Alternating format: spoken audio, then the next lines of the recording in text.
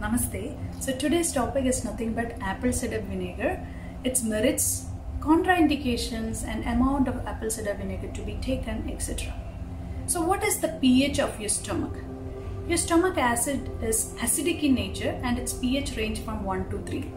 As you age, the acidity fades and it will become more alkaline in nature and this is one of the reasons of your indigestion, blotting of stomach, acidity, GERD, etc. The stomach valves open and the acid comes up and you will feel sour in taste and these are some of the conditions where the apple cider vinegar is indicated. So what happens is when apple cider vinegar is poured inside your stomach, it improves the acidity of your stomach. Thereby it helps in digestion and helps to digest the food faster and thus prevent the blotting of stomach. So it helps in all these conditions. Whereas it is contraindicated in conditions like gastritis, ulcer, and all other inflammatory conditions where the stomach acid actually it is like an open wound. So what happens when the apple cider vinegar comes in contact with this open wound, it worsens the condition.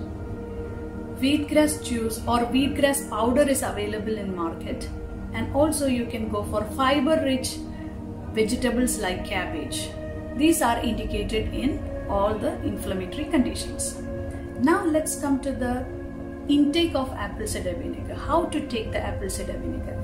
Take one glass of water, add one spoon of apple cider vinegar to it and one spoon of lemon.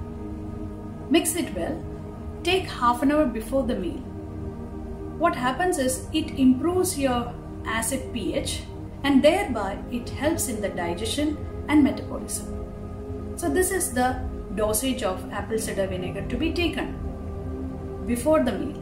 Two times in a day is sufficient. Another question I usually encounter is whether apple cider vinegar helps in weight loss management. Definitely is.